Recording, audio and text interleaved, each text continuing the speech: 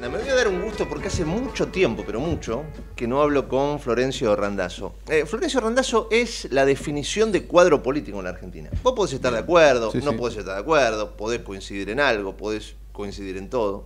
Pero lo que no se le puede eh, achacar a Florencio Randazzo es que no ha laburado cada vez que le tocó estar en la Tal cual. función pública. Sí, sí, sí. O sea, cada vez que ha encarado un proyecto, ha ido para adelante, a pesar de todo. Y ha, bueno, ha tenido los problemas internos que, que ya sabemos. Después eh, se fue de la función pública y se llamó a silencio mucho tiempo. Y ahora, bueno, reaparece. ¿no? Y me parece que es importante que Florencio Randazzo esté en la discusión. Y ahora forma parte de, de esta fórmula del espacio que encabeza como presidente Juan Schiaretti. Él va como, como candidato a vicepresidente.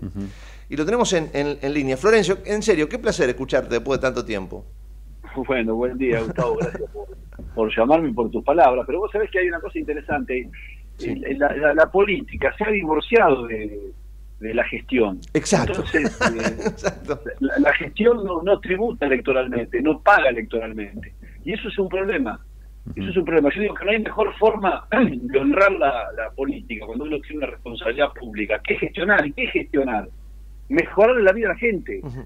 Que es lo que he hecho yo frente a cada desafío ¿Y que vos he por qué crees que esto pasa? Por ejemplo, a ver, cuan- cuando, vos te ha tocado estar, eh, encaraste el tema, que a la distancia vos decís, ah, es menor. Ah, es menor, tenés que ir ahora a, a hacer los documentos en aquella época. Vos encaraste el tema de la documentación y la pusiste adelante. El tema de los trenes, te la pusiste en el hombro y fuiste para adelante. Y en tantos otros temas. Pero digo, ¿por qué crees que eso no termina pesando? la, la sube, te puedo nombrar, mira, yo sí, la sube, ahí tenés, por ejemplo, claro. La creación de la Agencia Nacional de Seguridad Vial, vinculada a un flagelo, que es la muerte de los más jóvenes, eh, digamos, en, en accidentes, en accidentes de tránsito. Exacto. Eh, mira, eh, yo siempre que he tenido algún lugar de responsabilidad, eh, me he planteado qué, qué desafíos afrontar para el día de mañana saber que no perdí el tiempo cuando estuve en algún lugar Exacto. tantas horas y pude transformar algunas cosas y puedo ser recordado por esas cosas, Ujú. cosa que me pasa a diario. Exacto. En general, ya estuvimos el, el viernes en Mendoza y en general me encuentro con gente en todos lados, ¿no? Eh, gracias por los documentos, qué bueno que pudimos hacer el pasaporte y qué bueno con el tema de los trenes. Eh, yo creo que de, que de eso se trata la, la, la política. Ahora, eso electoralmente no paga. Yo siempre me pregunto cuáles son las motivaciones por las cuales Claro. eh, vota la sociedad, ¿no? Vos fíjate que en este caso integramos una fórmula, porque a lo mejor alguien dice, Chávez, ¿quién es gobernador de Córdoba de una provincia muy bien administrada. Entrega una provincia con respecto y respecto a las instituciones, a la división de poderes, con una provincia con un Estado austero, con una educación de vanguardia. Eh, tener una, una provincia que en su Sí. Estado está, está orientado a resolver los cuatro temas fundamentales. Eh, eh, en relación a esto que vos señalás, ¿ustedes representan al peronismo tradicional, digamos, a, a la doctrina del movimiento nacional justicialista en sus bases? ¿Esos son Sí, ustedes? a, un pero- a un peronismo moderno, Sí. Gustavo, que Bueno, con pero- aciertos y con errores Exacto. creen en la producción y el trabajo. Exacto. La Argentina no, no va a salir adelante si no genera riqueza, inversión y trabajo. Eso Claro. no se resuelve con planes. Aumentaron el presupuesto en materia de planes y aumentaron los planes. Aumentó la pobreza. La informalidad del trabajo está llevando que el sistema jubilatorio argentino le pague el mayor a, a 6 millones de jubilados 70 mil pesos, cuando la canasta básica es el doble o el triple de eso. Entonces me parece que hay, que- hay que transitar otro camino. Bueno, eh, Córdoba ha tenido un plan de infraestructura, eh, eh, digamos, para darle competitividad al sector privado enorme, qué sé yo, 3.000 kilómetros de gasoducto en cuatro años.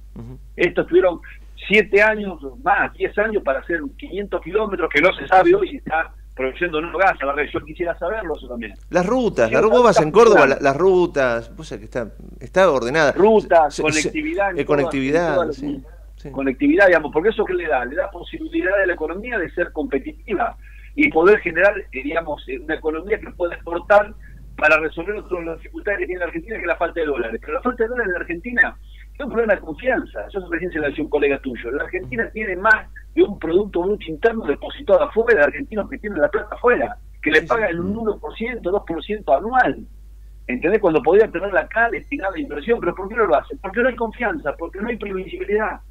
Porque la dirigencia dice una cosa un día y hace otra cosa el otro día. Entonces me parece que nosotros tenemos que empezar a, a- a pensar eh, no tanto en el pasado, sino en, cómo construimos el presente y el futuro y recuperar el sentido común, Gustavo. Sí, sí, Hay sí, que no. recuperar el sentido común. Porque digo, eh, vos lo has dicho muchas veces, te, te he escuchado. Em, a ver, eh, para mí, ¿no? Es más difícil destruir la Argentina que sacarla adelante. La Argentina te presenta un, abanico de posibilidades que si tenés un poquito de patriotismo, de ganas, eh, es cuestión de, soplar y ponerse a laburar. y, ver a quién, a, quién digamos, le, le, conferís tu voto y tu confianza, con solamente mirar la historia de cada dirigente. Yo soy un hombre que ha honrado la palabra, que he venido a mi casa, como decir, voy y eso he tenido en, en, con enormes dificultades. En la palabra, como por ejemplo podría haber sido gobernador del 2015, sin embargo dije que no. ¿Por qué dije que no? Porque públicamente me había comprometido que iba a participar de un paso para elegir el candidato a presidente del espacio. Iba a mi casa y me fui a mi casa. Y en el 2017 se me ofreció ir con Cristina como primer diputado, senador, y dije que no, y competí, competí de vuelta, y se fueron, se fueron del peronismo, se fueron a la unidad ciudadana, ¿está claro? Y competí sabiendo que tenía pocas posibilidades porque era candidato a senador, y no tenía ninguna posibilidad en aquella elección que compitieron Burris y Esteban con Cristina. Y lo sostuve en el 2021 fue candidato, y me llama silencio, porque esto también es interesante. En el 2021 saqué 500 mil votos solo, ya tenían solo, sin estructura, sin nada. ¿Y sabes por qué me llamo silencio? Porque cuando vos te votan del 5%, 5,5% y el resto lo votan 40%, es una cuestión de respeto. Mm, cuando la voluntad de la sociedad se pronuncia, eso no quiere decir que no trabajé, trabajé en la ley del consejero que salió, trabajé en la ley de boleta única que salió, que no salió, perdón, que salió un diputado, pero fue trabajado en el Senado. es decir, trabajo todos los días para que la Argentina cambie. Y tengo una actividad, eh, soy un hombre que me desarrolla una actividad privada, que tampoco nunca lo digo, ni estoy dispuesto a, a sortear el sueldo, pero soy lo del primer día Voy escribiendo pública firme y lo dono al, Hospital del Niño de la Plata, a la Fundación del Hospital del Niño de la Plata. Y los pasajes los puse a disposición del Hospital Garja y nunca utilicé ni un solo pasaje. Ahora eso mm. tiene que ser un mérito de uno, porque aparte hay, hay, hay dirigentes que son muy buenos dirigentes y no tienen esa posibilidad de hacerlo. Ahora, yo siempre tuve una conducta. Y, creo que es interesante entender que la, que la sociedad del 13 de agosto puede tener una alternativa diferente a la, a la, a la grieta que es en este caso el gobernador de Córdoba, acompañado por un grupo de gente, de hombres y mujeres, que, tenemos otra idea de lo que hay que hacer en la Argentina. Lo, tengo aquí a Raúl Vázquez que te quiere hacer varias preguntas, pero digo, ¿te fuiste defraudado del kirchnerismo? ¿Te, te fuiste lastimado en algún punto? Sí, me parece que perdió, perdió su esencia, ¿entendés? Se transformó en un grupo de, de fundamentalistas eh, con, una visión equivocada de lo que pasa en el mundo, en el mundo y con cero gestión, con cero gestión. Es decir, hacernos creer que Cristina aquí, que Massa, no tiene nada que ver con el gobierno de Alberto Fernández, tomando el tono. Está claro, es tomando el tono. Por eso me llama a mí la, atención que haya gente que no entienda esto.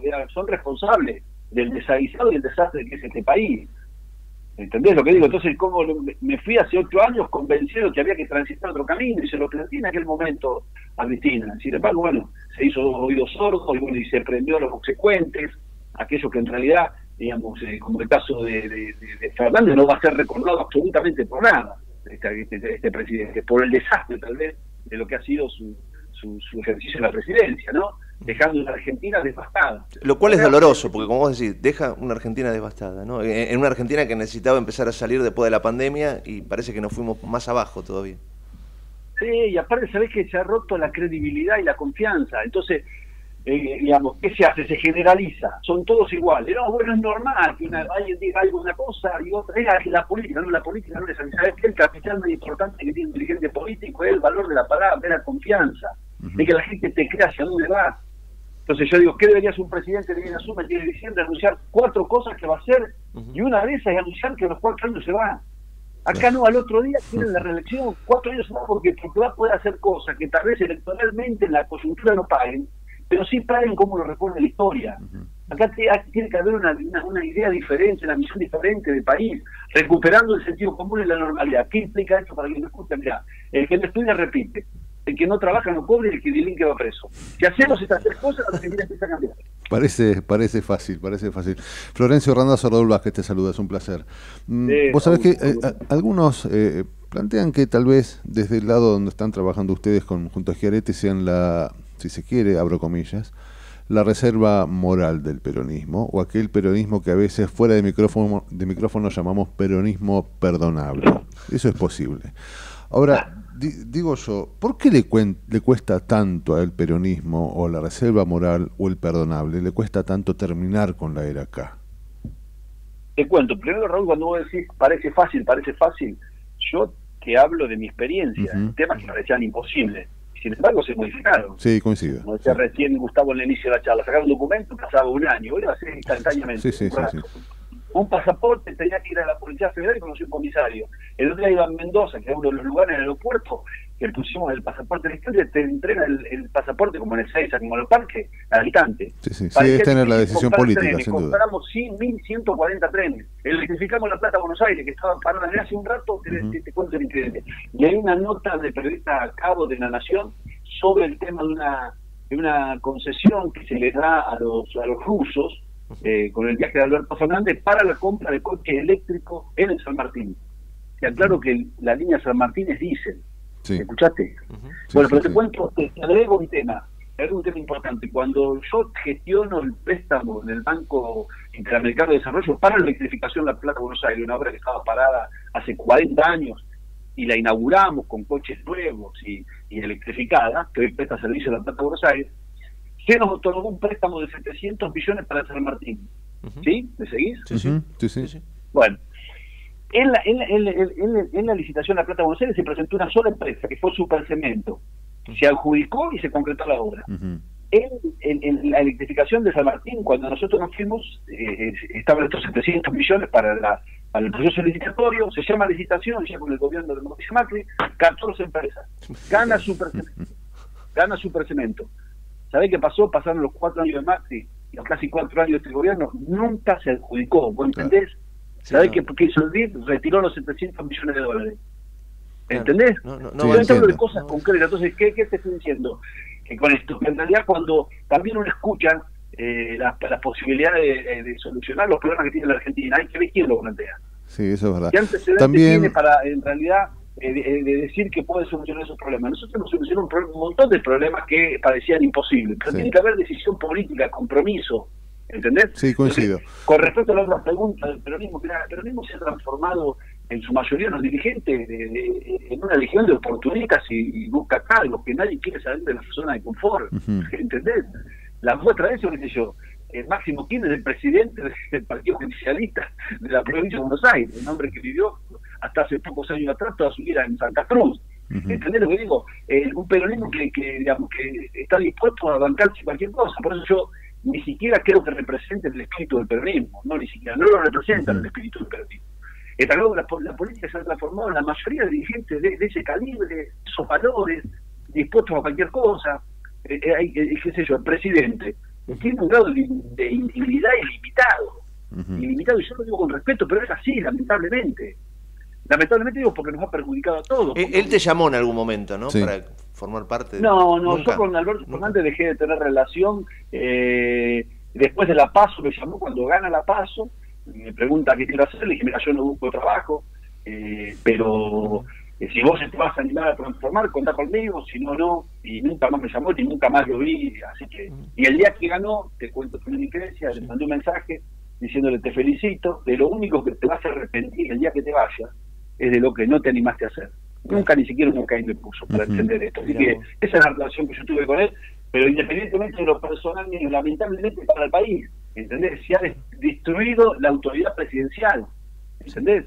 Se ha destruido la autoridad presidencial. Tengo la, la vicepresidenta inaugurando una obra importante como el gasoducto, eh, digamos, en la cual ni siquiera se habla con el presidente. Es una vergüenza. Es una, locura, una locura. Y en ese personalismo de Cristina, Perdóname la pregunta, pero yo siento esto. ¿Vos crees que Cristina en algún momento te tuvo celos? Porque vos justamente llevabas adelante las obras, ibas sacando proyectos adelante. ¿Te tuvo celos? ¿Cuando te puso piedras en el camino? No, no, no, no, piedras en el camino nunca. La verdad, sería faltar a la verdad, cosa que yo no, hago, y, ni sacar ninguna ninguna ventaja a propósito de las diferencias que tengo hace muchos años con ella. jamás, jamás, no, no, no al contrario al contrario. Siempre sentí que cada propuesta que le llevaba, le decía flaco, metete para adelante. Está claro que era la impronta que yo le daba a mi gestión. Porque muchos dicen, bueno, lo hiciste por Cristina. Bueno, ¿por qué si, si lo hizo por Cristina no lo hizo Aníbal cuando fue ministro del Interior, no lo hizo de Pedro ahora, no lo hizo Jaime cuando estaba en transporte y cuando he ido? Está claro esto, en realidad esto tiene que ver con la impronta de cada uno. Porque tenía que sentir que no estaba perdiendo el tiempo, que me podía ir del gobierno y contar estas cosas que creo que es lo que sería, eh, sería el capital más importante político que puede tener un dirigente y el que debería evaluar la gente a la hora de votar. Hay una cuestión, Florencio, que también me gustaría traerlo aquí en la mesa, que tiene que ver con el hecho uh, de, la gestión, que sí, absolutamente coincidió. Lo que has hecho, por ejemplo, entre otras cosas, con los trenes, es, eh, es hija y consecuencia de una, de una gestión y de una idea de modificar una, una, realidad. Ahora, esto sucedió después de una tragedia tremenda como la de Once, que pone de manifiesto que a veces, lamentablemente, la Argentina funciona a tragedias, ¿viste? Extracción a tragedias. Lo que pasó fue inaudito y ahí entraste vos y modificaste una, una realidad.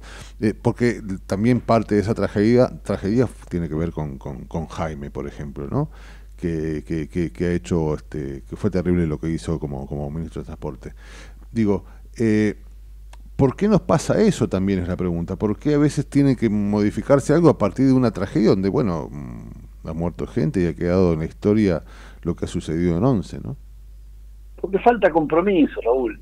No hay compromiso. Y esto está vinculado a esto que yo te digo, a la idea de, tener permanencia en el cargo. Fíjate que se ha terminado la idea de que si hay alguna crisis en un determinado eh, eh, en, un, determinado ministerio, el fusil debería ser el ministro. Creo que el último fue el caso de, de, Once, ¿no? Donde ya, digamos, eh, fueron 52 víctimas más 700 heridos, una tragedia eh, de las más importantes eh, en la historia argentina. Entonces, por un lado eso y por el otro lado, vuelvo a repetirte, la, la buena gestión paga. A mí me reconocen muchísimo sector. Cuando vuelvo a preguntar a quién votó o a quién va a votar, y dice, bueno, vemos, y entonces ahí entra la grieta impide que haya la posibilidad de tener una mirada hacia otro sector. Exacto. Entendiendo, entendiendo muchas veces que esa grieta es parte también de un negocio de, la política, de los medios, de determinados empresarios. Y bueno, y así estamos. Florencio, y, ya hablando tal vez de la grieta, inclusive hablando de las elecciones que se vienen, ¿representa para ustedes, o bueno, sí, representa para ustedes un problema? Que Horacio Rodríguez Larreta haya intentado eh, sumar a Schiaretti a, su coalición, digo, como porque en definitiva desde el punto de vista de la gente es, bueno, este, se habla tanto de, de Larreta y Bullrich que Schiaretti iba a ser casi un apéndice en un momento. ¿Cómo, cómo, cómo manejan eso? No, eso fue una conversación que Horacio Rodríguez Larreta convocó al, al gobernador de Córdoba, Schiaretti, eh, para proponerle que lo acompañe. Y Teresi le dijo claramente que, que, nosotros teníamos otra idea, que sí se podía conformar un, nuevo frente mm. de centro, digamos, donde él debía tomar la, la, decisión de incorporar a una a Schiaretti a la posibilidad de que se compita dentro de ese frente, frente de frente, lo que pasó un poco en Santa Fe, donde participó el socialista, el socialismo con Mónica Fey, candidato a gobernador, y con Clara García, candidata a diputada por la provincia, eh, el día de ayer. Bueno, eso no fue posible porque bueno, se opuso en aquel momento eh, Mauricio Macri y Patricia Burrich. Nosotros creemos que la Argentina también necesita de todos. Y yo digo con total humildad, hay gente valiosa en todos los espacios, ¿eh? ojo. ¿eh? eh el gran problema es que en su mayoría, en el frente de todos le hablan a Cristina y en cambio le hablan a Macri. Y ahí en realidad entra en el juego la grieta y eso aleja las posibilidades de encontrar solución a los problemas. Y yo quiero que aproveches, a ver, en, este momento, ¿no? Hay mucha gente que nos está escuchando. Justamente, en esta Argentina con grieta, polarizada y demás, muchos te escuchan y te dicen, yo lo votaría es que uh -huh. Pero, a ver, si yo lo voto y quizás pierdo, eh, dentro de la polarización y la grieta, pierdo el voto. A esa gente, ¿qué le decís? Que es un error pensar de esa forma, porque venimos pensando de esa forma en los últimos 20 años y fíjate cómo nos ha ido es un error. Sobre todo cuando vos tenés en este caso la posibilidad de tener un candidato a presidente que es gobernador de una provincia importante, que ha dado testimonio de cómo se administra.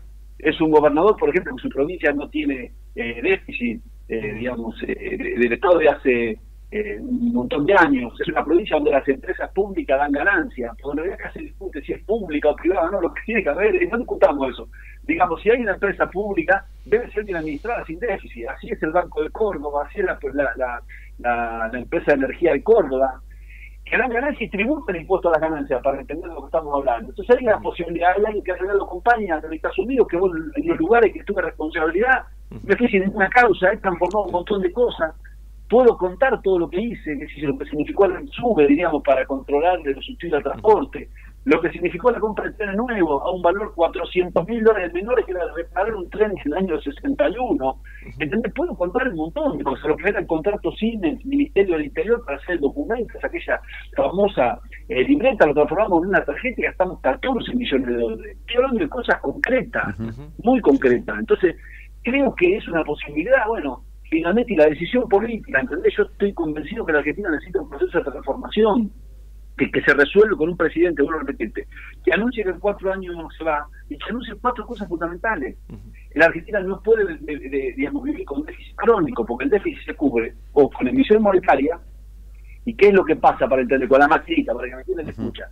Y con la misma cantidad de servicios, es naturalmente que genera inflación. Y la inflación deteriora todo.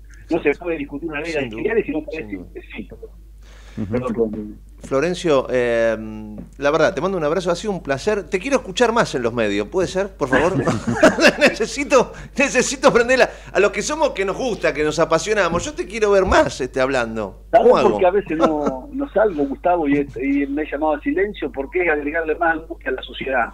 Cuando no hay un escenario de salida, como en este caso, eh, la posibilidad de que el, ciudadano vote el 13 de agosto y falta poco y ya empecemos a cambiar el, destino de la Argentina, eh, siento que si salgo, eh, digamos, genero más angustia, porque la sociedad de por sí ya está angustiada, está resignada, a mí me preocupa mucho el sentido de, resignación que hay en Argentina. Ya no era Argentina embroncada del 2001, que era mejor que esta. Ah, que estaba dispuesta a salir a la calle, que esto cambie. Hay una Argentina que está resignada, que haya corte, a que en realidad un tipo que tuvo 39 causas ande en la calle y mate al mono, en que el pibe pase de grado, que no importa la cantidad de falta que tenga, que no importa la nota que se saca, eche de loco, que el que no trabaja corte la calle todos los días, estamos en un país de locos, muchachos, que tenemos.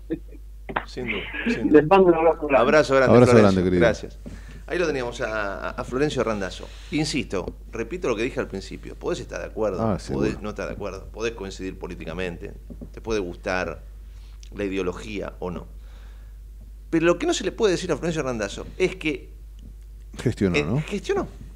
A ver, el tema de, de los pasaportes y los documentos, para los que tenemos cincuenta y pico de años, Urta que es más chico, que seguramente no se acuerda, cada vez que teníamos que sacar el documento era un dolor de cabeza. Y tenías que tener un conocido. Tenías que tener un conocido, te comías una, una cola, llegabas a las 6 de la mañana, te comías una cola eterna. Sí, sí. Era, una, era, un, era un parto. Salías con suerte a las 3 de la tarde, con suerte si te atendían. Sí, sí, es así. Cuando sacaba el documento de identidad, ¿no? La cédula, lo mismo. Era un el pasaporte, mamá mía. Sí, sí, sí, era un drama, era un tenía que llegar. Nos perdíamos la vida haciendo trámites.